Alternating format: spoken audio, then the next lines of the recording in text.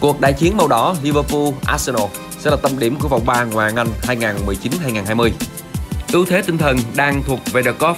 Từ năm 2017 đến nay, Liverpool đều hủy diệt Arsenal với những chiến thắng đậm 5-1, 4-0 rồi 3-1 tại Anfield. Liverpool vẫn duy trì được sức mạnh tấn công đáng sợ. Bộ ba Mohamed Salah, Sadio Mane, Roberto Firmino tiếp tục chơi cực kỳ tốt từ đầu giải. Trong khi đó Arsenal cũng có được nhiều điểm tích cực, đó là sự hòa nhập nhanh của những tân binh. Ceballos ngay trận đầu đá chính đã có hai pha kiến tạo giúp cho đội nhà hạ Burnley 2-1. David Luiz chiếm suất đá chính ở hàng phòng ngự. Trên hàng tấn công, hai cựu binh Aubameyang và Lacazette đều đã ghi bàn. Liverpool sẽ đá áp đặt đẩy Arsenal vào thế phòng ngự phản công.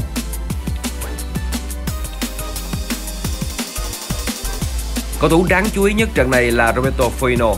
Anh đã khẳng định được tên tuổi ở nước Anh. Nếu ghi thêm bàn thắng trong tối 24 tháng 8, anh sẽ chạm cột mốc 50 bàn ở giải ngoại hạng Anh. Và nếu làm được điều này, Firmino sẽ trở thành cầu thủ người Brazil đầu tiên trong lịch sử ghi được 50 bàn ở giải đấu số 1 xứ sở sương mù. Cảm ơn các bạn đã theo dõi.